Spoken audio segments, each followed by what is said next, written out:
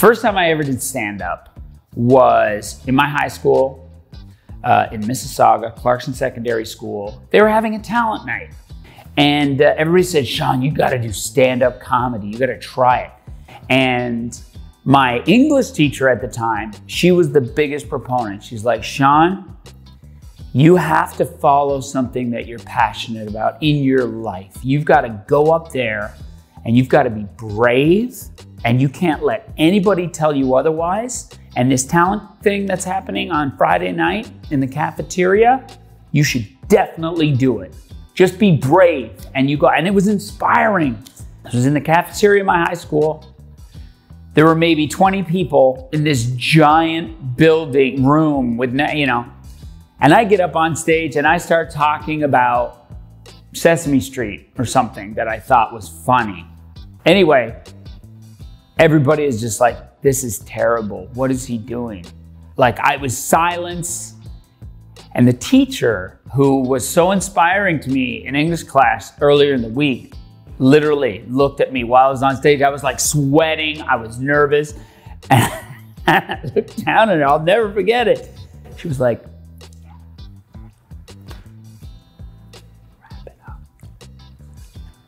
She's telling, she's giving me the hook. She's like, thumbs down, like the gladiator, kill him. Kill. I'm like, you're inspired. You're supposed to be inspiring me to take a chance, and now she's at that five minutes into my ten minutes. I mean, sure, it was horrible. She, that's not how the movie goes. The movie's supposed to be. She's like, no, she was like, yeah, get this. Who is this guy? Get this guy off stage.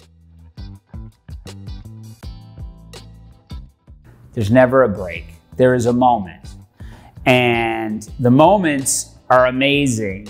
And you learn pretty quickly uh, that, you know, this is a beautiful boost, but a full career, a life is not that moment. So I've had several really great things that have happened along the way that have helped me get momentum. I remember one of the first things when I first started doing stand up comedy, um, I remember going to Just for Laughs you know, you work so hard to get Just for Laughs. Just for Laughs is truly one of the most important comedy festivals on the planet.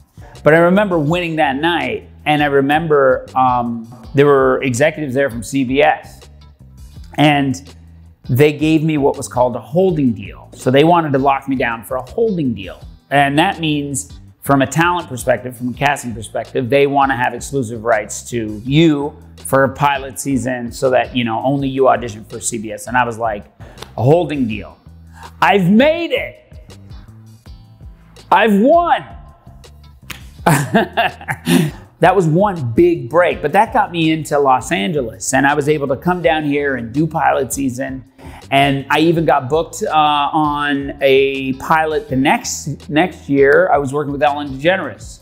Uh, she had a she had a new show, and it was a sketch comedy show. It was with Tim Conway, myself, Sean Cullen, uh, Jen Irwin, and two or three days into the week we were actually shooting, I get fired.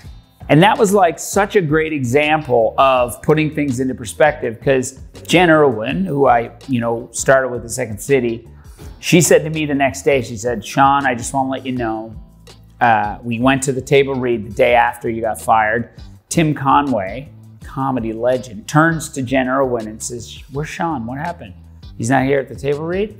And Jen said, Yeah, no, I think I think they let him go.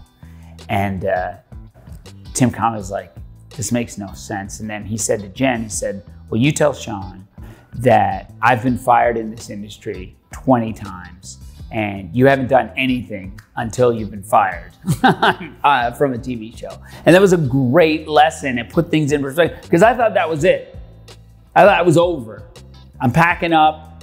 I'm going back to Mississauga. I'm going to live with my dad in the suburbs and go to Miracle Food Mart and get apples and live the rest of my life that way.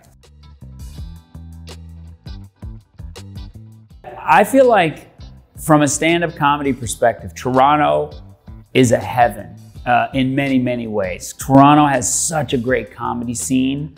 Um, and I can only speak to Toronto because that's that's kind of where I cut my teeth as a stand-up to begin, and still uh, have a lot of teeth to cut. But but I feel like Toronto was such a great place where not only did you have you know your chain of comedy clubs in uh, across the country with Yuk Yuk's, which is where I started. Um, but you also have these great rooms. You've got now the comedy bar. You've got you know, the Rivoli for me was my favorite place to do stand up because it kind of promoted this thing of like, you know, the alt Monday nights were a place where you could go and try ridiculous things. And people were there to hear that and they were there to allow you to explore. They were a very forgiving audience. And I feel like Toronto, I love that. I didn't know those rooms are here. Um, in LA, but LA is a different world uh, in terms of stand up audiences, I feel like. You might be doing stand up in a little back room, and there may be somebody in the audience. There may be a great opportunity here. That is always a potential here. But also, you don't want to let that be the reason why, you know, you, you, you write your material with the hopes of someone seeing it versus a pure stand up who wants to just do the things that they feel is really funny and do the, you know what I mean? But then you have the, the alt rooms that are all over the city that are really tough to get on, but that's probably the places where you're going to see the best comedy, you know?